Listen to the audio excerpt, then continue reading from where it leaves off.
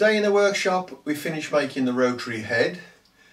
We drill the hole for the cable and we fit the back onto the head and then connect it to the computer and test that it works.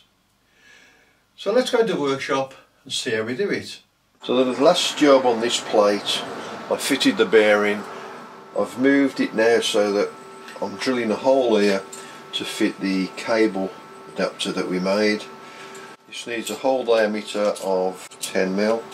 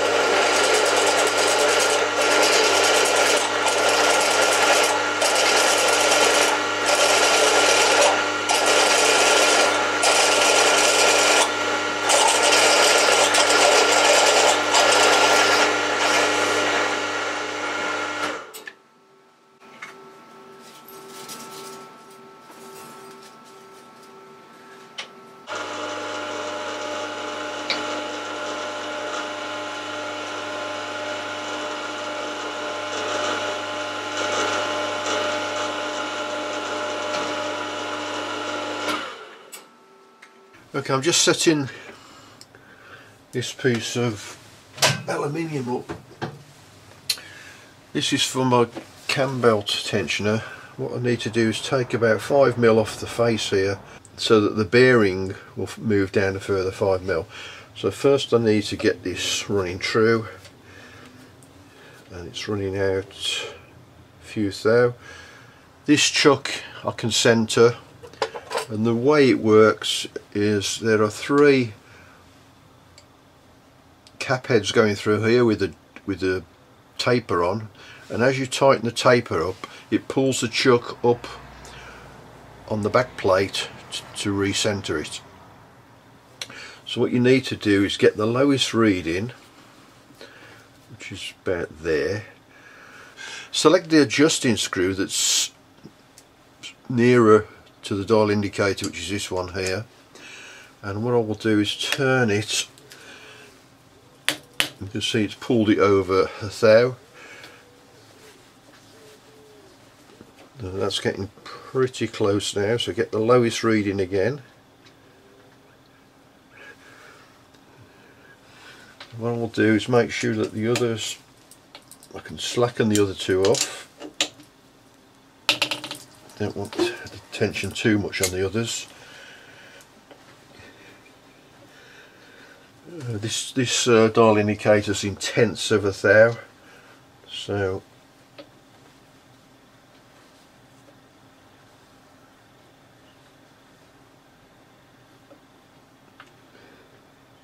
it's about the lowest part there. I'll just move that up to the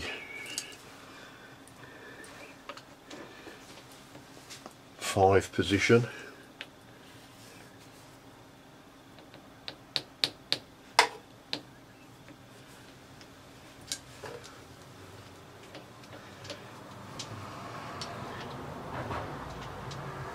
There, one there.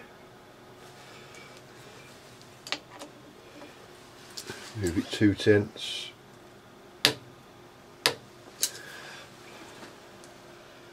Zero to there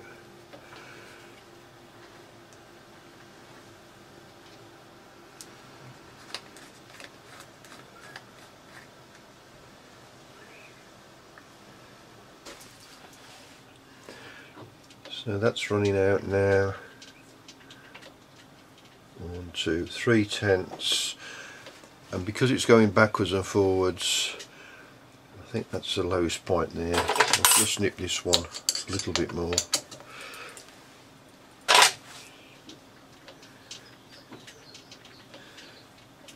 Mm, just less than two tenths. So I don't think I'm going to get any better than that.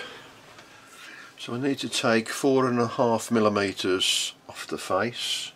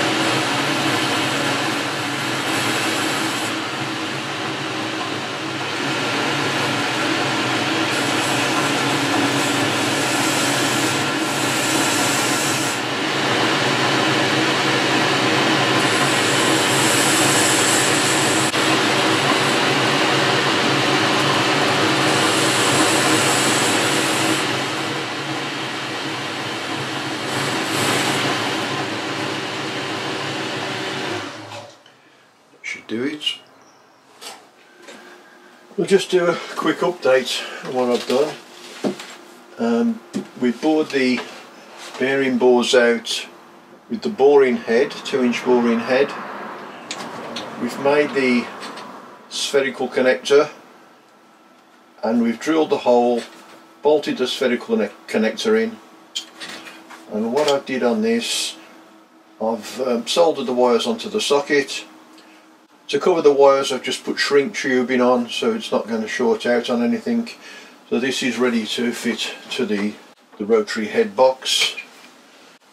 This is the, the box so far. I fitted the stepper motor in. On this side, bearings in, pulley on the stepper motor. On the top I drilled a hole through that hole is so you can lock the spindle when you want to get your chuck off or tighten your chuck up on the spindle. Otherwise, as you turn the chuck, it's turning the stepper motor and the belt. You've got nothing to, to lock it. So by drilling a hole in there, I can pass a bar through which goes straight through the spindle and locks the spindle. So the next thing I want to do is put the the cover on the back. Fit the plug into the socket this lines up only going one way and on the outside there's a screw so there's a sleeve that tightens up so that won't come undone. And that goes into the head. The bearing has to go in that way to line up with that bearing. Make sure the cable's out the way tucks it in the back cable should tuck under this side out the way so the spindle's not interfering with it. That will go in there. This rotates so you can plug it in anywhere. Move the cable across. So the next thing to do is put the screws in. Countersunk screws. They go in here.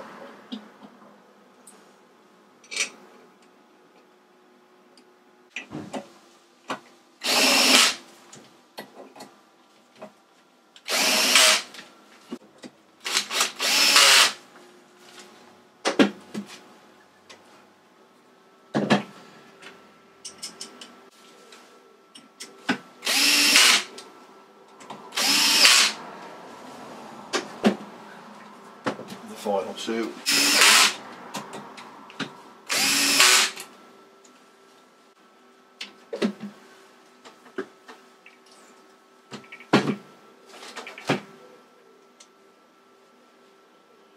So now I need to put the spindle in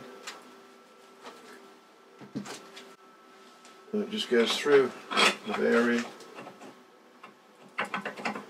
You'll see here the hole which lines up with the hole in the case and through the back bearing. So I'll just put the spindle in. Before I put the spindle in fully I need to put the pulleys on this end. what I've done is marked up on the pulley and on the spindle where the flats are well, where the grub screw are on the pulley and where the flats are on the spindle. So I can put this on here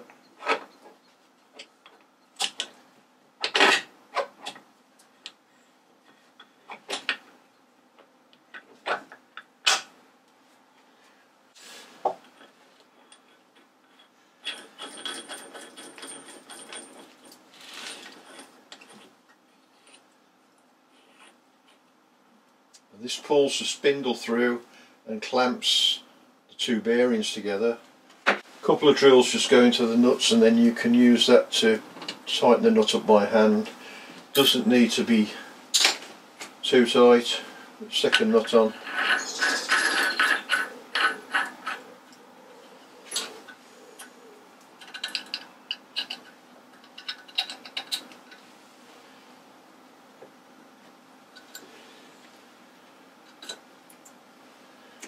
There seems to be a lot of play there but I cannot get the belt on if I try and slide the belt over the pulley.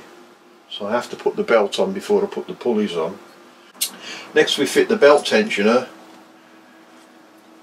That goes on this way.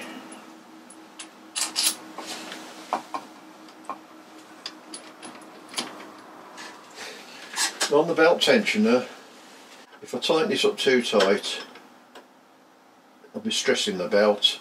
It just needs a bit of play there. So all the tensioner is doing is just keeping a slight tension on and you can see if I go backwards there is some play in that belt. It's a tough belt so it doesn't need to be um, like a a V-belt it doesn't need to be too tight. It's just taking some of the play up so it doesn't slop about reducing the chance of the belt skipping a tooth I can just tighten that up there. Make sure that everything turns. Okay. Then the next job is to tighten up the grub screws behind this. After a lot of fiddling about trying to get the Allen key through the back, there's a 3 mil hole I've drilled in here. The Allen key will go straight down into the grub screw, tighten it up turn it to the next one. Into the grub screw see it's moving. Tighten it up. Try to get the allen key through the back here into the grub screw it's virtually impossible. So just by drilling a hole straight through straight in. So that's all ready now for the back door to be made. So for that I'll just drill four holes on the outside put uh, screws through, make a cover that fits on the back. The front's finished and the socket's finished. I've just booted the computer up so I want to see if it will work. I'll type in a 50 degrees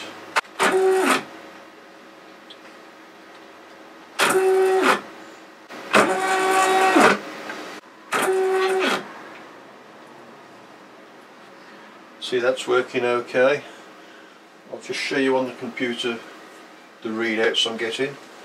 So this is the the axis. So if I press 0 zeroed it axis A the angle you want to go to say 150 press return.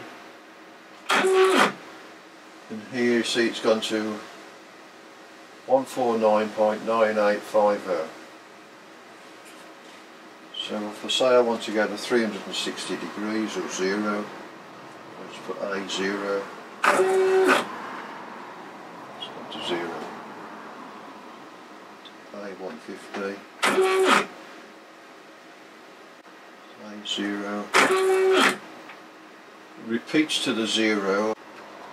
9850. So it's repeating to three decimal places. But whether that is actually doing exactly that on the rotary head, I'll have to check that.